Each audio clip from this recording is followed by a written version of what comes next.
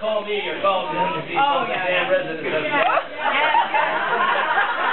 Don't forget it. So, so I feel very privileged to be here because I have you all by myself. And, so, um, all I can say is, is that I have worked at the Children's Hospital for, as you all know, maybe getting too close to 40 years. Well, that's just for you.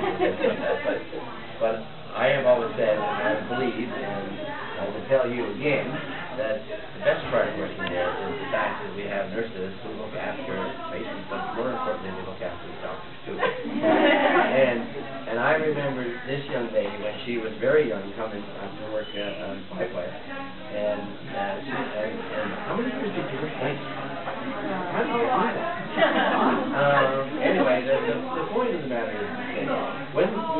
Place like New York, and everybody, you know, is pretty close to uh, caring about what we do a lot, and, uh, and looking after each other is a very important part of it. And when somebody leaves us after 32 years or some similar number, um, uh, it's, a, it's a cause for celebration, it's a cause for reflection and, and, and remembering all the good times and some of the not so good times that we've all shared.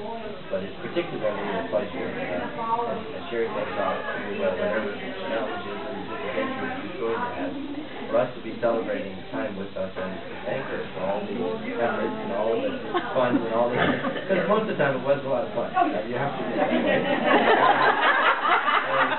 Being there and putting in the hours and hanging around and worrying and yakking and joking and all all of the things that go with, with working around the ward. Uh, it's fun and it's really fun when, when people enjoy it, when people participate and, and get to know each other and, and, and it's been a tremendous, tremendous experience for me, for sure. And you've shared a lot of those great place to be. I can say thank you very much for all of your efforts, and uh, I wish you very much happiness and health. As we all know, it's going to be one more the Jesus, my joints are but it's been a great privilege, and uh, I feel blessed uh, with all of